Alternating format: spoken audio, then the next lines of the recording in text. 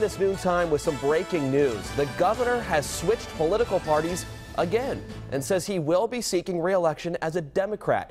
We've been covering all of the developments, Chafee's Choice, and Eyewitness News reporter Sean Daly was there with the governor this morning as he changed party affiliation. He joins us now live with the latest from the West Bay Mobile Newsroom in Warwick. Sean? Yes, Governor Lincoln Chafee just doesn't just listen to the beat of a different drummer.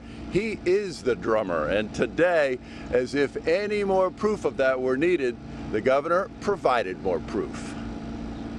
Governor, this must take you back to your political roots. These are my roots right here. You're absolutely right, Sean. At Warwick City Hall, just more than an hour ago, independent Governor Lincoln Chafee becoming Democratic Governor Lincoln Chafee, making the switch amid hugs and well wishes at the Board of Canvassers, and then talking about his decision upstairs in the City Council chambers, standing behind his old desk when he was a Republican councilman. What about the idea that Democratic primaries famously produce Republican governors?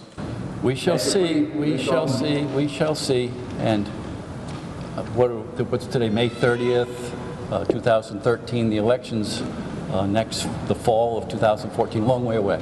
Do we take that as a yes, that you feel that your chances of winning re-election are better today than they were yesterday? Uh, It all depends on how Rhode Islanders feel about their daily lives. And my job is to make it better. Are you concerned about a bloody primary? You know, these are the politics. There's so much time going forward. We'll just see how it, how it unfolds now. It's possible, you know, right? The main thing, I keep saying this, but the main thing is have good schools, keep taxes down, make life better for our citizens, plow the streets when it snows, uh, pick up the trash. I also asked Governor Chafee to give me his personal gut check about this big decision, and he smiled and said, I feel fine. Live at City Hall in Warwick with the West Bay Mobile Newsroom, Sean Daly, Eyewitness News.